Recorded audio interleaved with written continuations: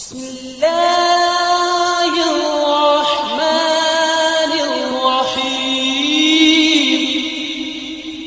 بسم اللہ الرحمن الرحیم السلام علیکم ورحمۃ اللہ وبرکاتہ نماز میں دل لگانے کا طریقہ.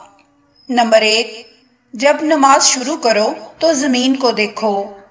فائدہ، مرنے کے بعد ہمیں اس زمین کے اندر جانا ہے۔ نمبر دو، رکوع کرو تو پاؤں کو دیکھو۔ فائدہ، ہماری جان پاؤں سے نکلنا شروع ہوگی۔ نمبر تین، جب سجدہ کرو تو ناک کی سمت میں دیکھو۔ فائدہ، مرنے کے بعد سب سے پہلے ناک ختم ہوگی۔ نمبر چار، اور جب بیٹھ جاؤ تو نظریں جھولی میں ہونی چاہیے۔ فائدہ، ہمیں خالی جھولی دنیا سے جانا ہے۔ یہ سب کو بتاؤ، کیا پتا آپ کی وجہ سے کسی کی نماز درست ہو جائے۔ جزاک اللہ خیر۔